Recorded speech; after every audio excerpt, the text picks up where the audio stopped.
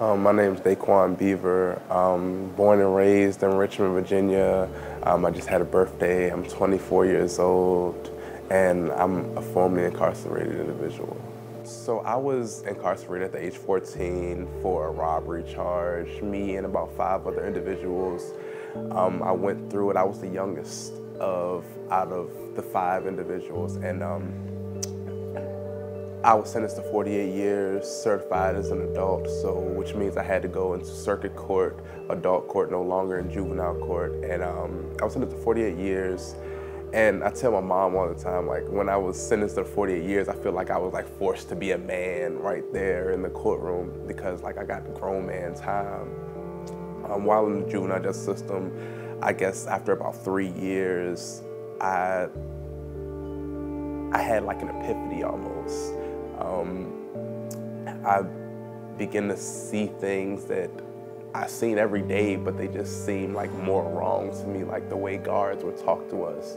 They would tell us we have no rights. Um, there was a unit that was put in front of the whole facility. Everyone had to pass them, and it just happened to be the unit with residents that had mental illnesses and um, it was just a lot of things that I felt like we I needed to speak up on. So I began to eavesdrop and listen to like small conversations, a little creepish, but I was I just wanted to see like what the what other people, what other residents were talking about, like what they felt were wrong, and I would write them down and I brought it to administration. And at first it didn't work, but um, we begin to write petitions and things of that nature. And we eventually start seeing some kind of change, which gave myself as well as other residents motivation that our voice can count if we work together. So I do not think that the adult system is anywhere for a kid because the the key word there is adult, right? Um, I personally know that a lot of, especially boys, they get 14, 15, like I'm a grown man, I'm a grown man.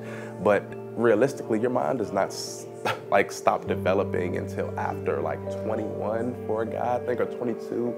So um, we have kids that may think may have a physical build of a grown man, but mentally they're not ready for the adult system. They need still need education. They still need someone to talk to. Like they're not finished developing. So I don't think the adult system is anywhere that any child should be.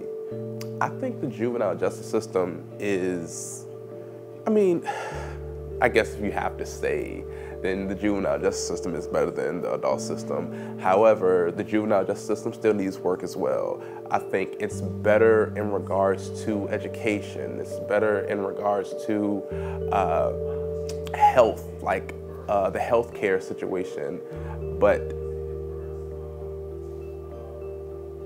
when it comes to DJJ and DOC, the facilities are almost identical. You know, like what they look like, what they feel like, what they smell like, the food that's served. So, I mean, it's kind of like a lose-lose for me, but if I have to choose, I would say, yeah, DJJ is doing a better job than DOC is. So I think race and, ethnicity play a huge part in um, both juvenile and the criminal justice system. Um, first of all, there is a uh, extremely higher percentage of uh, African American and Latino uh, youth and adults in our uh, correctional facilities right now. That does not mean, and this is statistics show that it does not mean that you know black kids commit more crimes than white kids, right? Uh, so if we have a chart to show that you know, well, this guy who happens to be black committed the same crime as this guy who happens to be white, and this guy is in the street and on uh, in a class or probation, and this guy has five years in jail. And you know, so yeah, I think it plays a a huge role. I personally like to like step out of the box. Um, I think a lot of people when they hear like alternatives or a continuum um, of services, they think of locked facilities or facilities that have to look like a jail. Um, I ask the questions to my youth, and um, the questions are what is something that you always wanted to learn? Like, period. Take juvenile justice, take everything out. Like, what is something that you want to learn? And what's something that helps you cope? And the answers that you get from those two questions tell you what this youth need, what alternative would, that would help this youth succeed. And you will get answers from like, I want to learn how to sing, so I want to learn how to build a house, right? So if you have youth that just want to strive, you just have to tap into what that specific person wants, and we can have a world where no youth is locked up. Prisons don't work. Prisons do not work. Um, and I think we, as a people, need to come together and realize that we're prosecuting children, our leaders of tomorrow, and we need to come together and build them instead of break them down because I could have easily been another kid lost in the system, you know, back and forth inside the facility, but I'm here because I had a I had a support system. I had people to believe in me, I had people to push me. It doesn't mean I'm smarter than anyone. Like I just had someone to tell me, look, you need to go this way.